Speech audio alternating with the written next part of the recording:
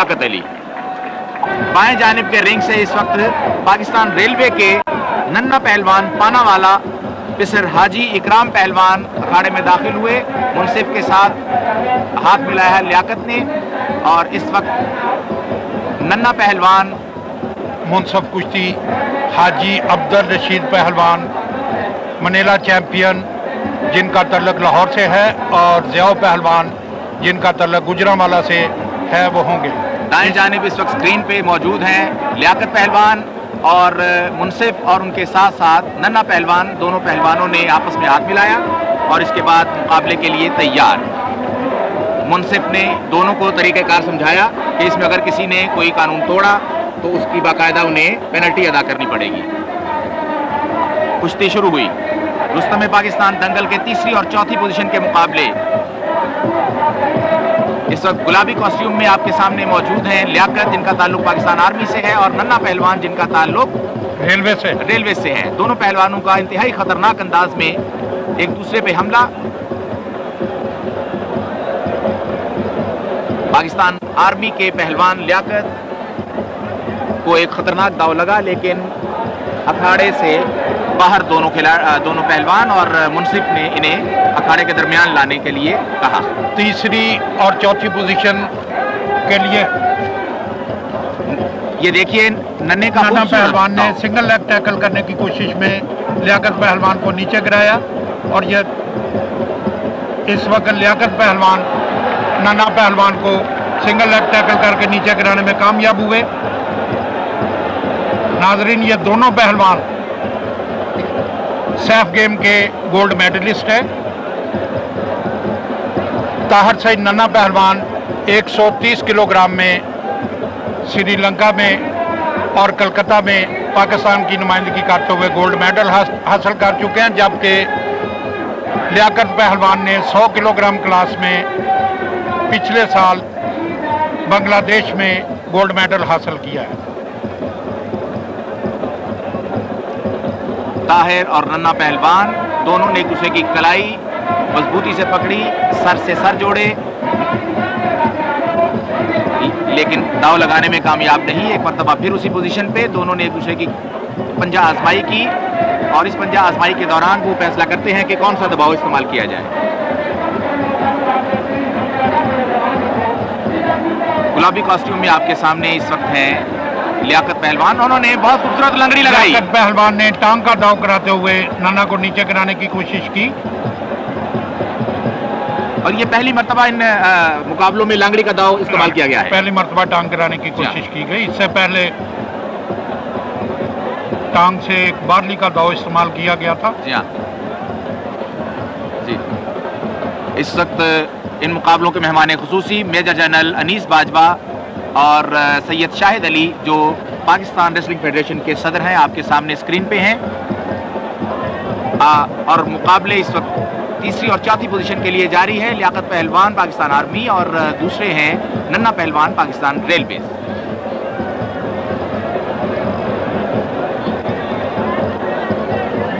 नन्ना पहलवान ने एक अंडरहैंड दाव लगाने की कोशिश की लेकिन लियाकत पहलवान इंतहाई चाबुक दस्ती और चाब महारत के साथ इस दाव से बचे। तीसरी और चौथी पोजीशन में जीतने वाले खिलाड़ी को पाकिस्तान रेसलिंग की तरफ़ से पच्चीस हज़ार रुपया और चौथी पोजीशन हासिल करने वाले खिलाड़ी को दस हज़ार रुपया नकद इनाम से नवाजा जाएगा। इस वक्त नन्ना पहलवान ने लियाकत पहलवान को नीचे गिराया हुआ है और वो कोशिश कर रहे हैं कि उनके कॉस्ट्यूम की मदद से लियाकत पहलवान को उल्टा दाव लगाने के बाद नीचे गिराएँ और फिर चारों शानचित करें, लेकिन लियाकत पहलवान इंतहाई महारत के साथ और इंतहाई ताकत के साथ डटे हुए हैं। उन्होंने अपने हाथों को ज़मीन में मट्टी में गाड़ रखा है। इस वक्त लियाकत पहलवान ने जो नन्ना पहलवान की सिंगल लेग टैकल की हुई है, उसकी वजह से नन्ना पहलवान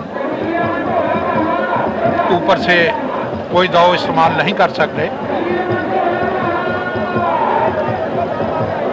इस दाव में चूँकि खासी देर हो गई है इसलिए मुमकिन है कि मुनसिफ इन दोनों को उठा के जैसा ये कहें कि नया दावा नहीं हमारा क्योंकि ये टाइम का मुकाबला है। तीस मिनट का। तीस मिनट का। इसमें रूल कुछ इस तरह है जी कि पहले पहला जो राउंड है वो 30 मिनट का होगा।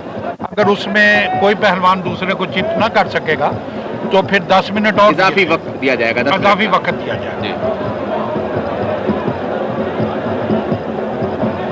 पाकिस्तान रेसलिंग फेडरेशन के सेक्रेटरी आरिफ चौधरी इस वक्त स्क्रीन पे आपके सामने हैं और इन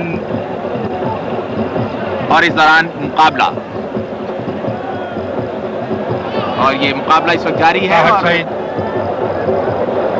लियाकत अभी तक इस दाव से बचने में कामयाब नहीं हुए। नन्हे ने बहुत खतरनाक दाव लगाया हुआ है और इस चीज़ का लियाकत को एहसास है। इसलिए वो उन्हें कोई मौका नहीं देना चाहते कि वो ज़रा सी कमज़ोरी का मुजाहरा करें और नन्ना पहलवान उन्हें गिरा दें।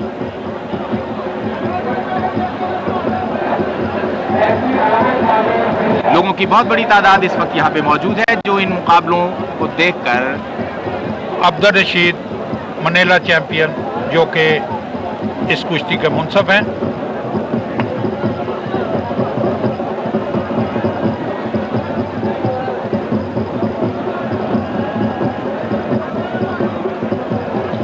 ज़िया पहलवान जिनका तल्लक गुजरा वाले से है, वो भी इस कुश्ती के मुनसिफ हैं ये देखिए, नन्ना पहलवान एक खतरनाक दाव की जानिब। लेकिन इस दौरान लियाकत पहलवान ने नन्हे पहलवान की दाई टांग को मजबूती से थामा और इसी मजबूती से इतनी मजबूती से पकड़ा कि वो दाव लगाने में कामयाब नहीं हो सके। ये जो नीचे से उन्होंने टांग काबू की हुई है इसकी वजह से ऊपर वाला पहलवान कोई दाव इस्तेमाल नहीं कर सकता। इस दौरान जक्कू पहलवान जो है वो मट्टी उठा के लाया और उन्होंने नन्हे पहलवान के जिसम पे डाली क्योंकि पसीने की वजह से हाथ फिसल जाता है। फिसल तो ये मुखालिफ खिलाड़ी के लिए या मुखालिफ पहलवान के लिए बाज़ अवत मुश्किल हो जाती है।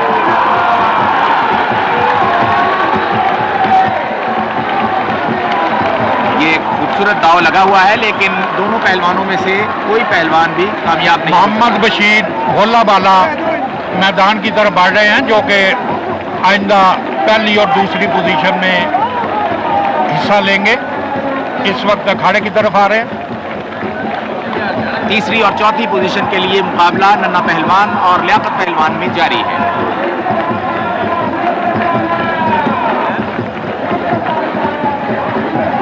रुस्तम पाकिस्तान के टू रुस्तम पाकिस्तान दंगल तीसरी और चौथी पोजीशन के मुकाबले जारी हैं।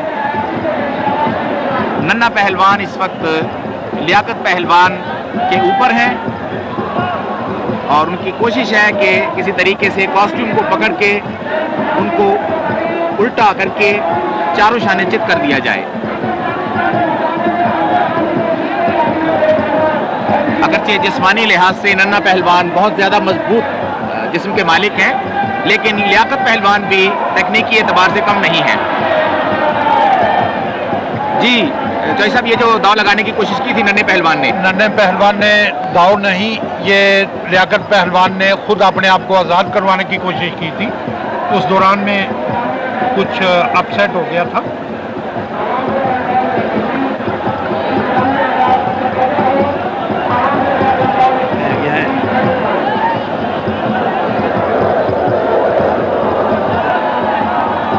एक मरतबा फिर नन्हे पहलवान की भरपूर कोशिश और बड़ा भरपूर वार।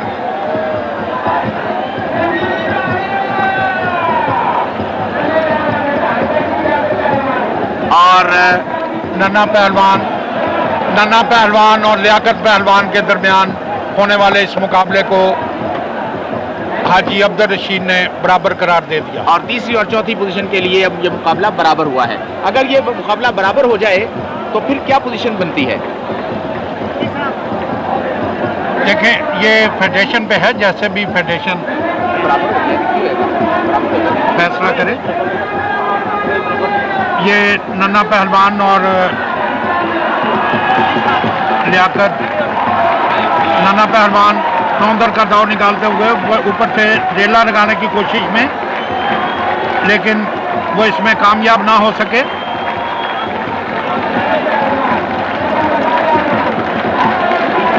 नन्ना पहलवान जो के कास्ट्यूम